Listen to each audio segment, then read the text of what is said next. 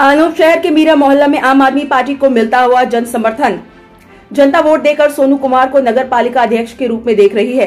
Sonu Kumar chairman प्रत्याशी नगर पालिका परिषद अनूप शहर ने कहा, आभारी है हम सर्व समाज और नगरवासियों के। नगरवासियों का स्नेह और आशीर्वाद ही तो हमारे हौसले को बुलंद कर रहा है और आगे की ओर ले जा रहा है। आप सभी साथियों को मैं हाथ के नमन करता हूँ, नमस्कार करता हूँ।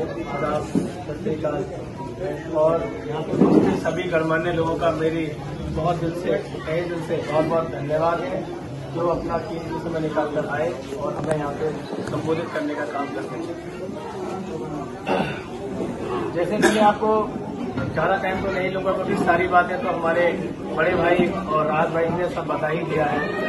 सारी नीतियाँ हमारी बता ही दी है, आम आदमी पार्टी की क्या नीति है, आम आदमी पार्टी क्या काम करती है, आम आदमी पार्टी का मिशन क्या है, और हमारे बहुजन समाज का मिशन क्या है। देखिए, आप सब समझदार हैं, मेरे बड़े भाई हैं, कोई मुझसे छोटे तो कभी होंगे कोई मुझसे बड़े हैं। मेरे सम्मानीय हैं तो यही निवेदन करूँगा,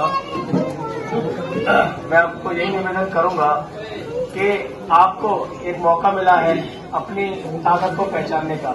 बाबा साहब ने हमें एक ही हक दिलवाया था, संविधान का। संविधान के तहत हम एक ही हक में मिल पाया है कि हम अपनी वोट हर पाँच साल में हम अपनी वोट की ताकत को आजमाते हैं। और ये लोग पाँच साल तक कोई किसी को नहीं पूछता है। जहाँ चुनाव आ जाते हैं, दस दिन पहले सबके यहाँ पे ना त्यौहार जैसा माहौल होने लगता है।